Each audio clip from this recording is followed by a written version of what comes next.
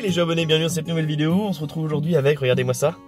Regardez sur la main du soleil, du soleil Ça fait euh, voilà presque un mois maintenant qu'il fait vraiment assez moche, on a très peu de, beau temps, euh, j'avais pas beaucoup de temps de sortir, etc.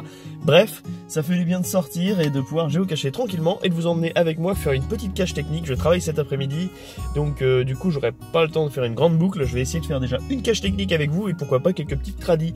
Voilà, allez, on se retrouve au PZ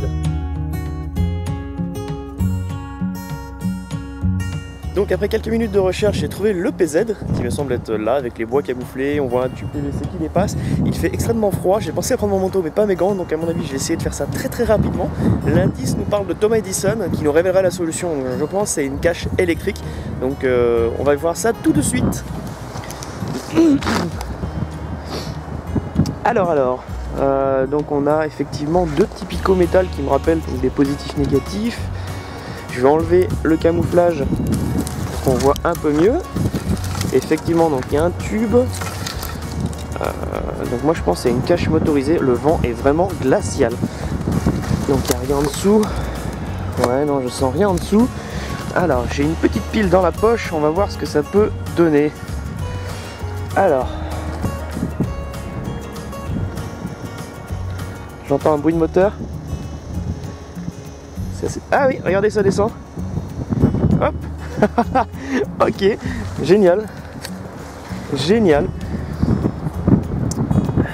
On va, ben on va loguer ça et puis on va la remettre. Donc j'ai logué la petite cache, on va la remettre. Alors avec une main, je vais essayer de faire ça à peu près propre. Voilà. Et on va euh, ben, simplement en fait euh, inverser la polarité pour faire remonter le moteur. Hop, je vérifie bien qu'il n'y a rien qui la gêne.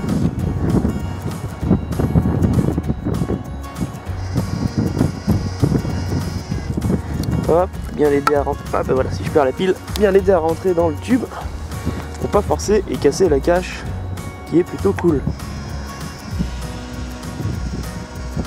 Et voilà. C'est pas mal hein?